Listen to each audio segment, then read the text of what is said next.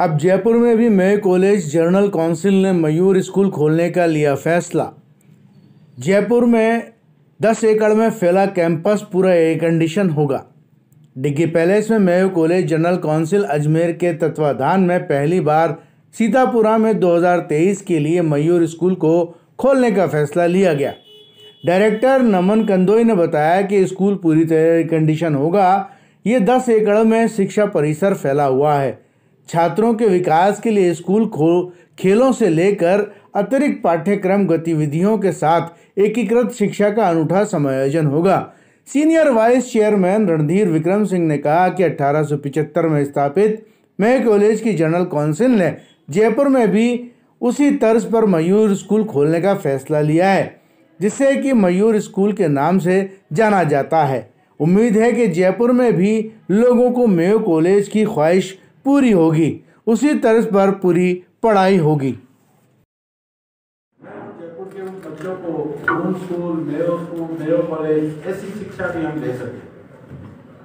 मैंने बहुत कोशिश की, बहुत स्कूल देखे, अब्रोड में भी गए बेटे को भी मैंने अमेरिका पढ़ाया, लंदन पढ़ाया। उसके बाद सीबीएसई में जॉब पे भी भेजा। और लास्ट आप लोग जानते होंगे, इससे मैंने पानी पता से भी दो साल तक बिकवाए, कुछ कंपनी के नाम से, जयपुर में। ये वहाँ से एजुकेशन लेने आने के बाद ये मैंने इनको पानीपता से भेजने के लिए भेजा कि आप दुनिया को समझो, जयपुर को समझो कि जयपुर के लोग क्या चाहते हैं। हमारी फैमिली ने कभी पैसा कमाने की नहीं सोची। हमने एक इंजीनियरिंग कॉलेज खोला था दो हज़ार एक में। वो आज भी रन कर रहा है। आज तक एक सिंगल पैसा कैपिटेशन फ़ीस के नाम से मानी लिया गया।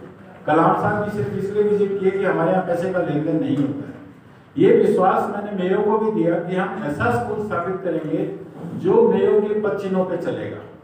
एक भी ऐसा काम वहाँ नहीं होगा जो मेयो के अगेंस्ट या मेयो टीम नहीं चाहती और यही एक कारण है कि हम यहाँ पर लेके आना चाह रहे हैं। एंड जहाँ तक सीबीएसई e का सवाल है with the advent of NEP I don't think 10 years down the line an international curriculum और any involvement would be required जो क्लासेस है वो अपनी शुरुआत में आप क्लासेस को एंट्री करने वाले हैं और उसका फ़ी स्ट्रक्चर क्या रहने वाला है? जैसा कि हमने पहले डिस्कस किया था हमारा जो एडमिशन ओपन हो रहा है वो क्लासेस वन टू सेवन के लिए हो रहा है for the session 2023 to 24 fee structure class one में एंट्री के लिए we are targeting a fee point of one lakh fifty thousand as tuition fees उसके अलावा आपकी सिक्योरिटी डिपॉजिट और कुछ खर्चे और होते हैं।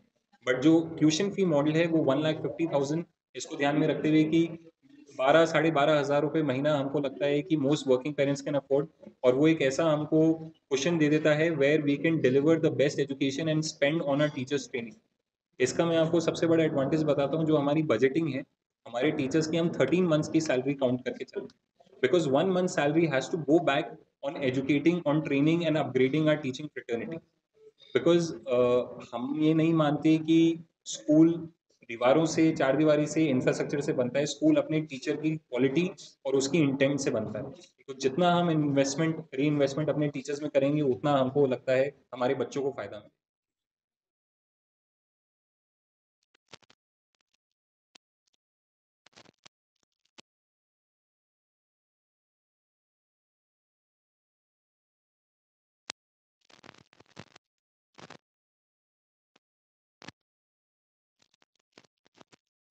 थ्रू एजुकेशन मिले सब बच्चों को।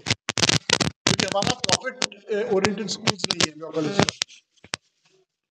सर अभी देखिए अपन को ये ध्यान में रखना है कि अपन को एजुकेशन देना है और नमन जी ने आपको बहुत सही तरह से बोला कि जो टीचिंग फैकल्टीज हैं उनके ऊपर कंसंट्रेट करना है। अगर आप आज के दुनिया में देखें कि टीचिंग सबसे लो, लो प्रायोरिटी में आ रहा है क्योंकि उनको सही सैलरी नहीं मिल रही है। सब लोग कॉपरेट सर्कल में जा रहे हैं। तो अगर आपको अच्छे टीचर चाहिए तो आपको अच्छा पैसा भी देना पड़ेगा ना टीचर्स को।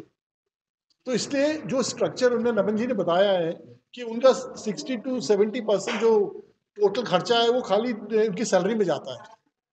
और उसके बाद उनका जो इंफ्रास्ट्रक्चर उसके अंदर पैसा लगता है।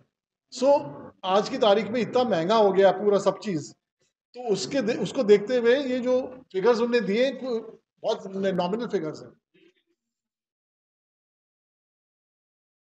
Música